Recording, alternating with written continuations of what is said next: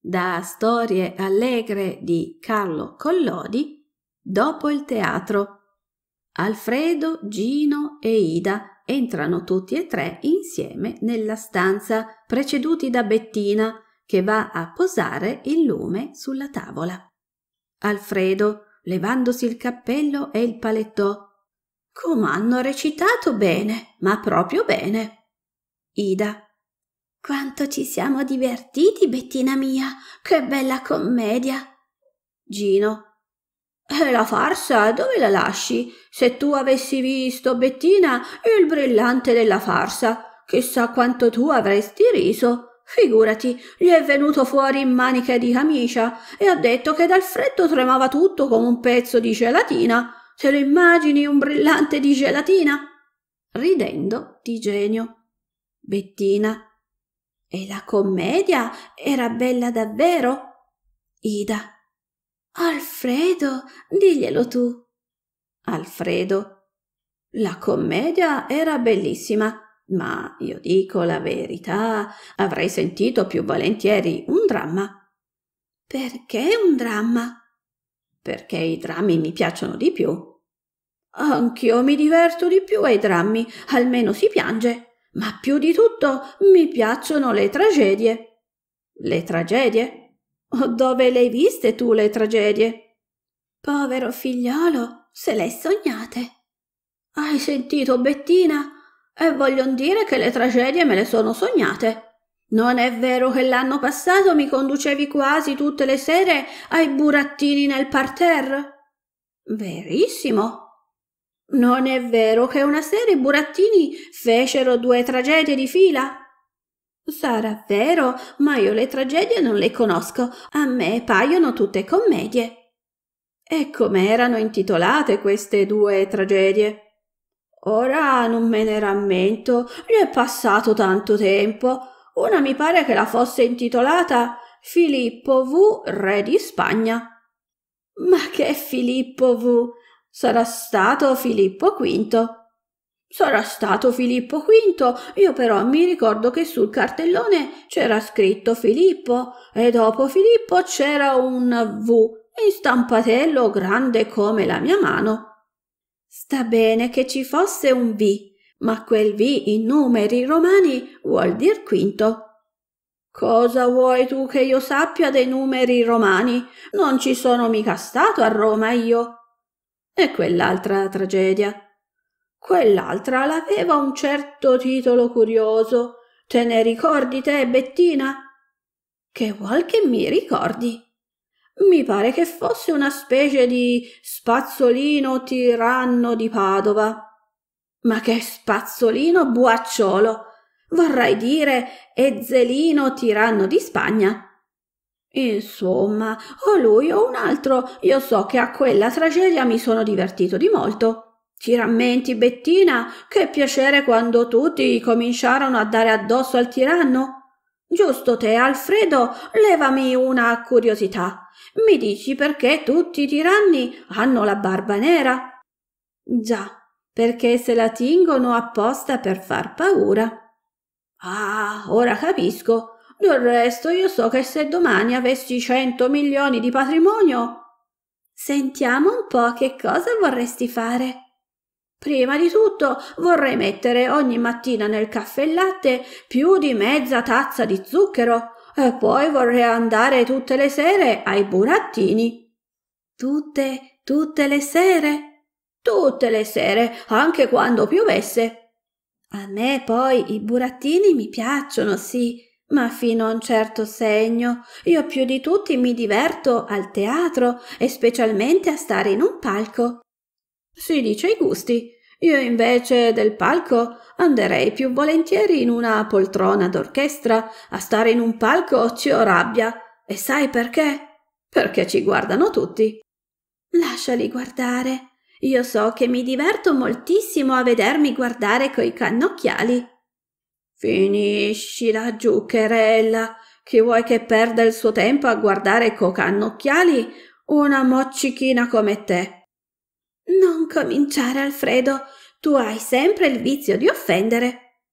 Mi dispiace, ho sbagliato a dir moccichina. Volevo dire un bel pezzo di donna come te.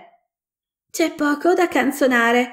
Ora sono piccola, ma poi crescerò anch'io. Il babbo dice che gli anni passano per tutti. Per noi altri ragazzi, però, questi anni benedetti non passano mai. La mi pare una bella ingiustizia. Oramai gli è un secolo che ho sempre dieci anni. Si consoli, fra pochi mesi ne avrà undici. Bella consolazione. Prima d'arrivare a quindici anni Figurati se c'è da allungare il collo. Però, se si guarda alla statura, sono grande quasi quanto Alfredo. Cucù. Quanto vuoi scommettere che ci corre appena un dito? Cucù. Vediamo un po', Idina, la vada a misurarsi con Alfredo. Sai, Bettina, potresti anche dire col signor Alfredo. Ti ho già avvertito che questo tono di confidenza non mi piace punto. Capirai che non lo faccio per me, lo faccio per riguardo del mondo. Oh, l'illustrissimo signore Alfredo ha mille ragioni. Da qui in avanti gli darò del signore anch'io, anzi, gli voglio dare dell'eccellenza. Bada, Gino, non far tanto lo spiritoso. Ti avverto per tua regola che le mani mi cominciano a prudere. Che paura che mi hai fatto. Ora non parlo più. Scusa, Bettino, ma la cena non è ancora preparata. Io ho un appetito che paio due. La cena è preparata, ma il babbo legge il giornale e quando avrà finito li farà chiamare. Vuoi sapere perché il teatro mi piace tanto? Perché dopo il teatro ci tocca la cena. O che forse non cena anche le altre sere? Sì, ma le altre sere io e Lida ci fanno cenare alle otto per poi mandarci a letto. Cenare alle otto mi pare una cena da polli. Che cosa vorresti fare tutta la sera levato? Dopo le ventiquattro ti addormenteresti sul canapè. Io, anzi, non ho mai sonno. Bravo, meno male che ti sei addormentato anche stasera. Dove? Nel palco? Quando? A metà del secondo atto, non è vero, Ida? M'è parso anche a me. No, signori, sbagliano, non dormivo. Oh, allora che cosa facevi? Pareva che dormissi, ma invece pensavo. Oh, che per pensare c'è forse bisogno di chiudere gli occhi. Secondo i naturali delle persone, per esempio, anche il nostro maestro di scuola qualche volta, specialmente nelle ore calde dell'estate, ci dice Ragazzi, siate buoni e non fate tanto chiasso, perché ho bisogno di pensare cinque minuti a una cosa. E quando ha detto così, appoggia la testa alla spalliera della poltrona, chiude gli occhi, apre la bocca e comincia a pensare. Ossia comincerà a dormire. No, signore, non dorme. Tant'è vero che se urliamo troppo forte si sveglia subito e ci fa una strapazzata di quelle coi fiocchi.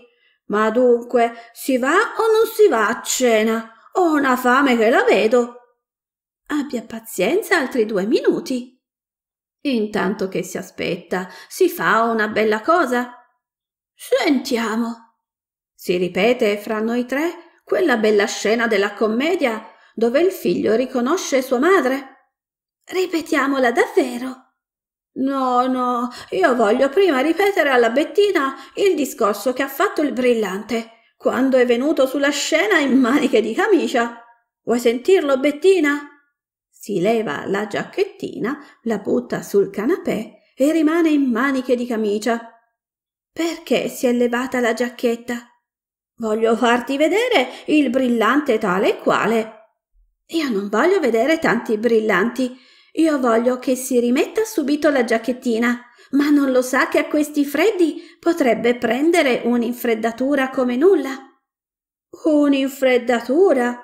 Non mi parrebbe vero di prenderla. Almeno il babbo mi comprerebbe le pasticche di lichene. Vergognati, ghiottonaccio!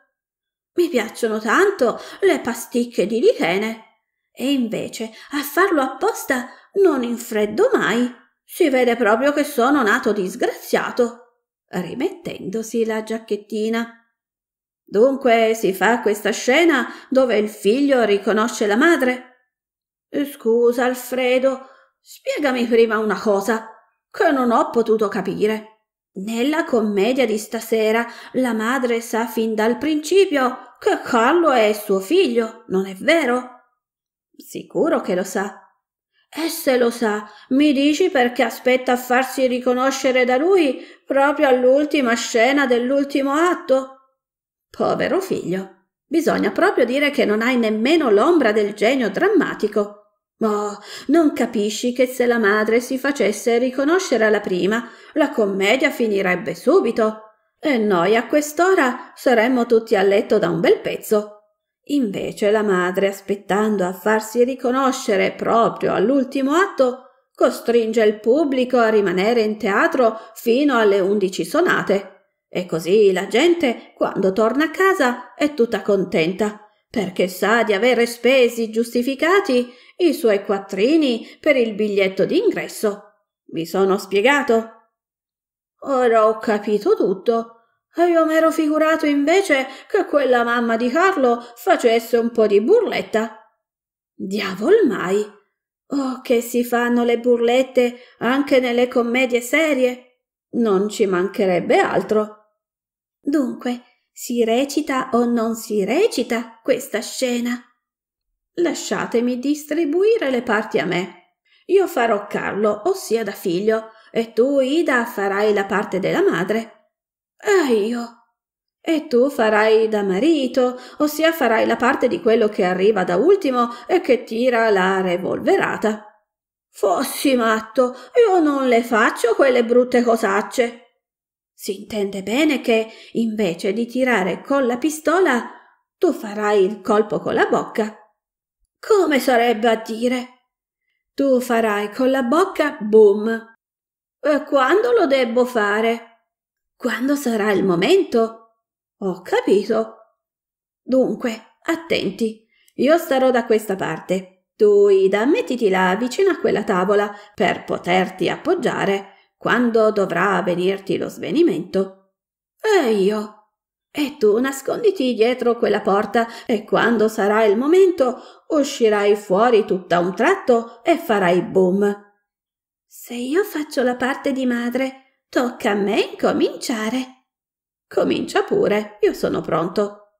Ida, muovendosi e gestendo drammaticamente, No, Carlo, voi non partirete. Oh Dio, se voi poteste, oh Dio, vedere i tormenti e lo strazio, oh Dio, di quest'anima, oh Dio, pietà di questa povera infelice.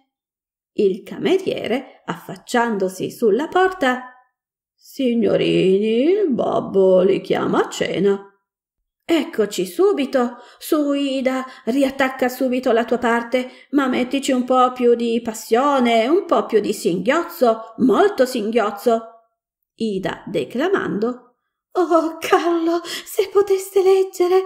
Oh, Dio, in questo cuore. Oh, se poteste contare le lacrime. Gino, uscendo fuori. Boom! No, no, troppo presto, ancora no. Spicciatevi, ragazzi, perché io voglio andare a cena. Avanti, Ida, avanti. No, calmo, ve lo ripeto, voi non partirete, voi non potete partire di qui. Sì, o oh donna, io partirò, io lascerò questi luoghi fatali, io fuggirò lontano, lontano, lontano. Gino, uscendo fuori, boom, boom, boom. Ancora no, t'ho detto.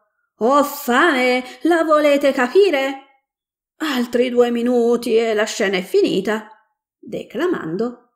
Sì, il mio destino vuole così. Noi non ci rivedremo mai più, mai più. Voi, Carlo, non partirete. Io partirò. No. Sì, chi potrà impedirmelo? Io. Voi? E chi siete voi? Ida con molto singhiozzo. Sciagurato, io so, no, tua. Gino, uscendo fuori e interrompendo, Sai, Bettina, penserai a fare tu boom. Io ho troppa fame e scappo a cena. Via di corsa. Alfredo. Quando è così, si può accalare il sipario e andare a cena anche noi. Ti è piaciuto il video? Allora metti like, sostieni il canale. È sufficiente un semplice like. Vuoi farmi sapere cosa ne pensi? Lascia un commento, ti risponderò. Anche questo può aiutare il canale. E se ti è piaciuto questo audiolibro, iscriviti e non dimenticare di attivare la campanella. Grazie.